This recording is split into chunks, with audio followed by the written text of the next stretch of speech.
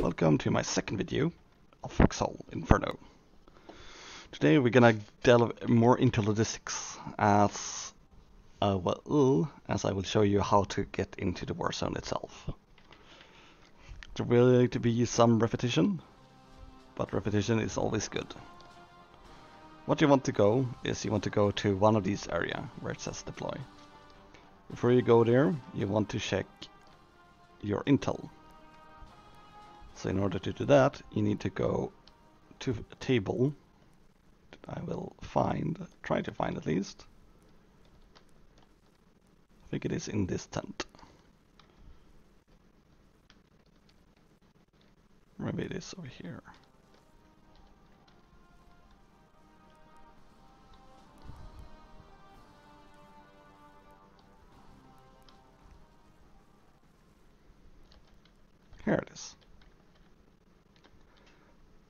This is the map. It is quite massive and there's a lot of details. Since I'm colonial, I'm on the right side where there is not the blue, because the blue is the warden. And you want to check the back line. And here you can see all sorts of symbols. And what we want to look at is the symbols I showed you last session, which is the salvage and the refinery. So I happen to see that there is those in the Axe Head. There are more, like there's more in the north. As you would see here is another refinery, another salvage field. And there's one to the south as well. Don't really know exactly where, but you can find it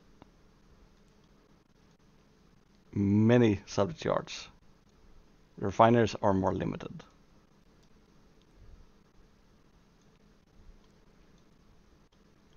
And there's a lot to this game, as you can see. So what we wanted to go is what we want to go to Head.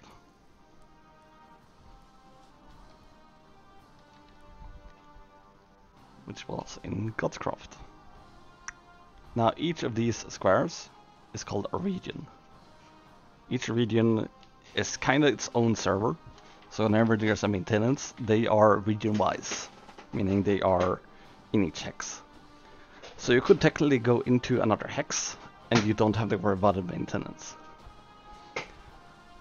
There's the region chat, there's the squad chat, there's the regiment for your entire regiment, which is kind of like bigger thing than that.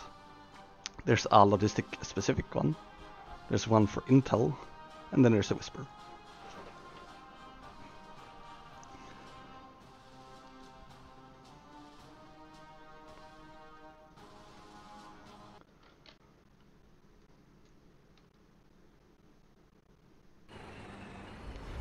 Now we are in the town hall, or the town base in this. Each hexagon has its own town base, where you can store and withdraw stockpile. Now this game is massive, it's a war simulator, meaning we are only looking at the beginning of the factory line, making things.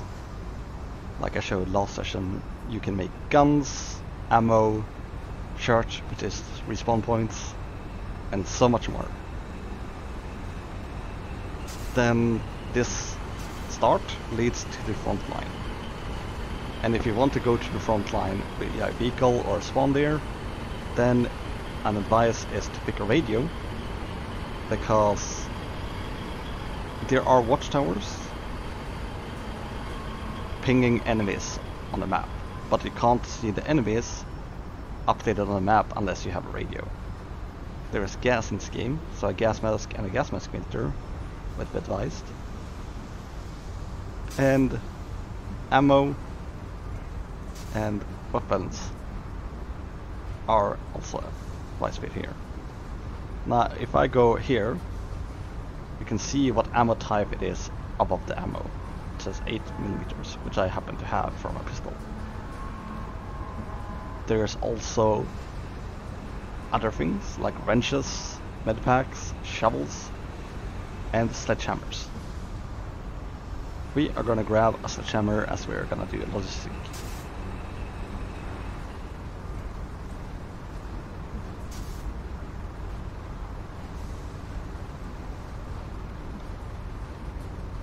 Now, there should be BMATs in here, possibly. But if there isn't, that is fine. Because there might be in some in the next part where we need to go south.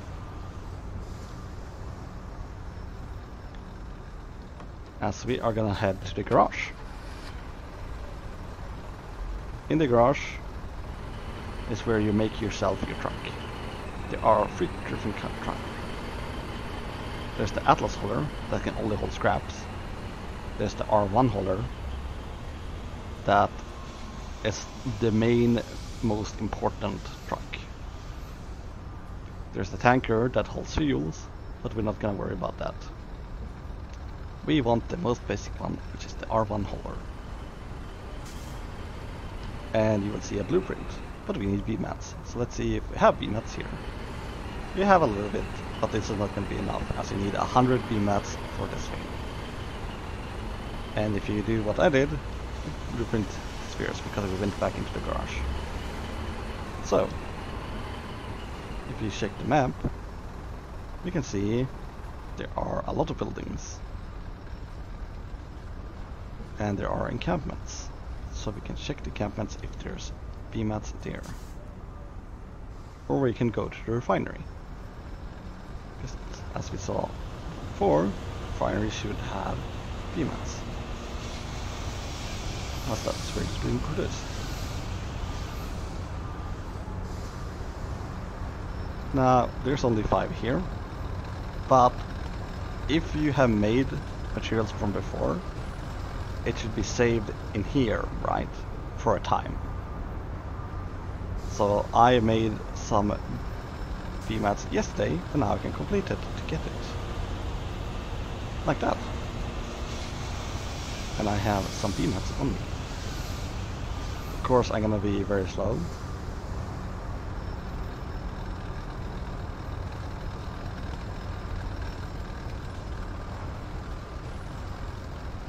One thing that I will advise, don't walk in the middle of these roads, because you will be run over. Guaranteed. So what you want to do is you want to stay off the road. There's useful, helpful signs that people have made. And you can upvote them so they stay for a long time. This one will stay for 11 days, but you can upvote it to make it stay longer. Now we are back at the garage. And we have a lot more materials now. So we can store it here for other people to use. And then we can do this again. You equip your hammer and you just hammer away. But you can't just put it in the garage. You have it to have on you.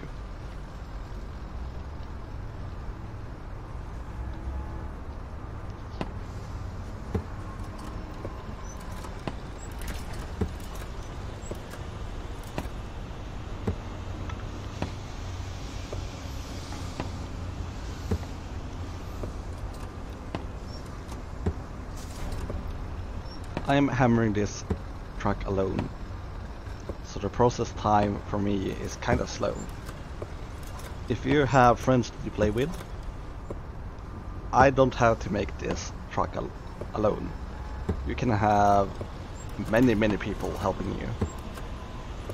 And since they are using B-mats, you don't need the 100. You just need a total of 100. So if I had one friend with me, I could have 50 and he could have 50 and we could basically speed up the processing of making this thing. If we had three people, we could have, you know, one could have 34 and the other two could have 33. And so on. That's why there was a lack of a hundred inside the garage before. And that's probably because somebody had some help and then dumped whatever B-mats he had spare into the garage.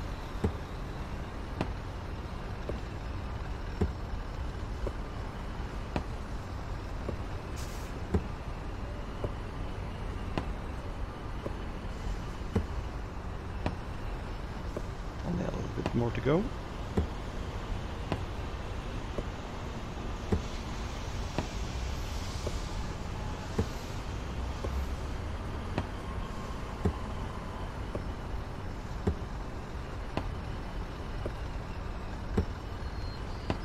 And it is made. Now we have made the first truck. The most basic and used truck that there is. Now you might want to hop in and press E, but if you press E, you open its inventory and you would see its fuel. It has quite low fuel. You can lock this truck so nobody else can pick it up, that's what happened last video. Or you can squad reserve it, meaning only people inside your squad could use it. Meaning Daniel here could use my truck. And you can specify which squad start for. Since I noticed that I have a little fuel, we want to find a thing.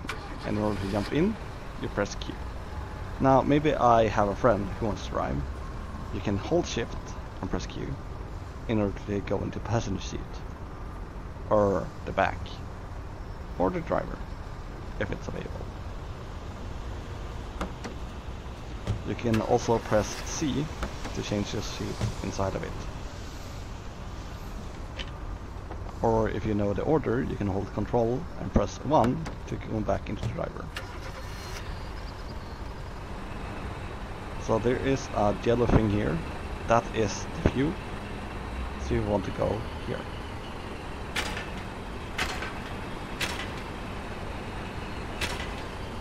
Now you can't refuel it from the inside. So you have to exit it.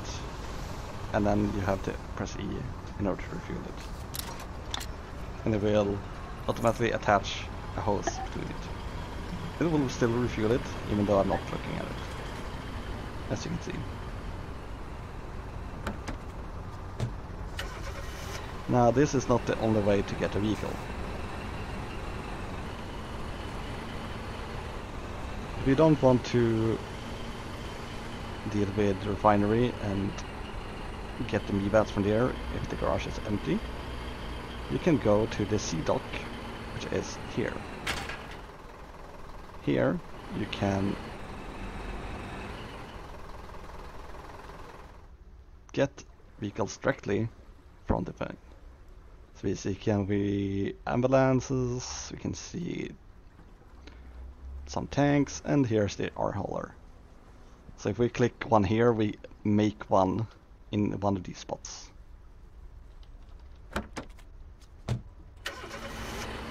There's also a fuel tank here at the seaport. But what do you want to go? You want to go to the salvage, right?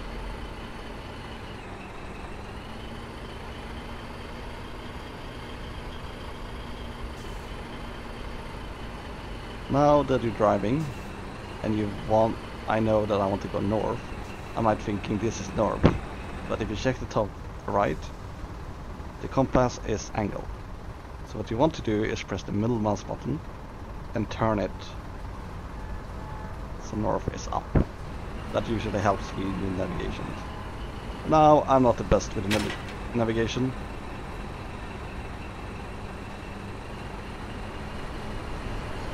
but oh well.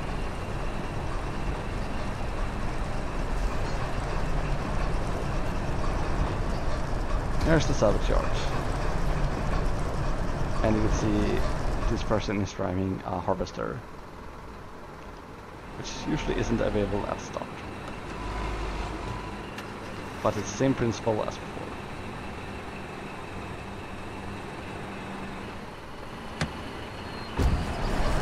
Grab this back here. You can harvest the hammer. But we grab a sledgehammer. The sledgehammer gathers harvest from all fossil. I can dump this truck into mine, or I can dump it into his truck, or I can dump it into one of these flatbeds.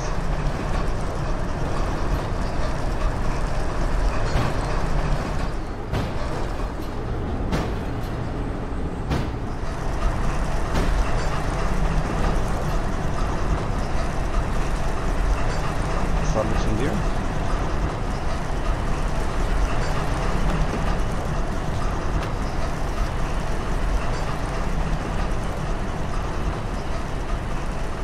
Have it.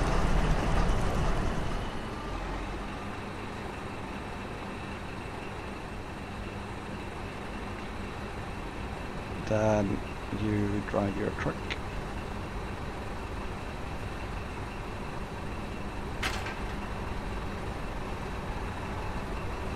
Refinery.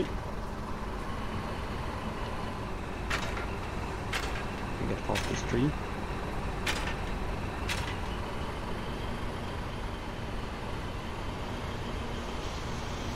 In order to access the refinery, you don't have to exit the truck. But because of traffic and stuff, you might want to access the refinery from a place where your truck isn't blocking the road.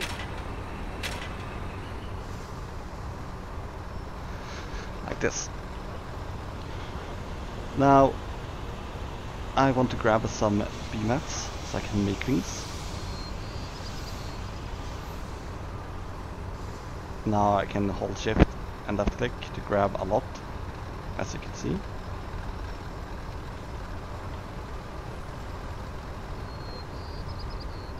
I'm Just gonna put in the charger into my headset.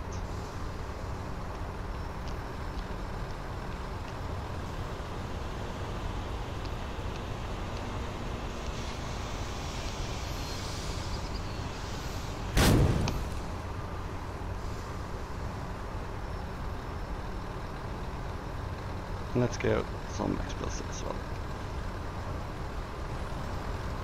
Now that my truck is full of materials, you can see it is not as fast as it was before, since it has a lot of weight in it.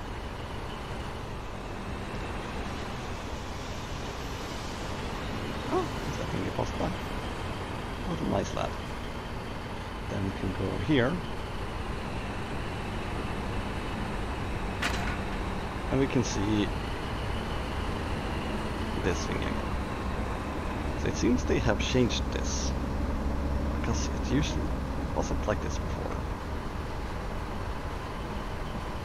I find that interesting. That might be a new update that recently came out. Which is interesting, quite interesting. So, we want to make things, right? Now, what if I'm gonna drive these things, right, to the front line? How do I know what I need to make for the front line? Well, there's a few ways to do this. One is if you press M, you see there's a C port here that has a lot of things inside of it. If you press Tab, like I did, you will see a list of items. So now I can see that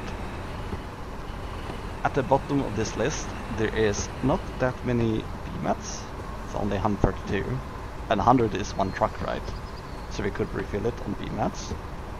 I know there is not many gas masks, only three. There's not a lot of shirts, I see four and two and two. So you can kinda get a hint of what you need. There's a lot of 40 engineers shirts, 14, and so on. The other way to do it is if you go into the front line, you would see that people have pins with lists and things. So need BMATs, BM. See some information. I can see here that they need 792 in bandages. So if I want to make these, I go to factory. I go to medicines because it was bandages, right? And each bandages is 80. And I can queue up 4 total. And now maybe I want my squad to have them and not my not personal, then I can change it to new core or new new boss. But for this now I'm gonna make it personal and I can queue that up and I can see it will take about 7 minutes. Then they wanted 762 which I think is here or 792 I think it was 762 and I can see I made the four bandages and I can see I only have 4 out of 80 PMATs so I can't make the ammo now. But doesn't stop me from going back to the salvage yards, grabbing more salvage and making more BMATs in the refinery. And that's the basic logistics. Now that the bandage is done, the hardest part for me, personally, is to finding my way here. Because I want to grab them right, and then I want to drive there, where they needed it, in order to fulfill this supply line. Which I'm not gonna do, but I wish you all luck.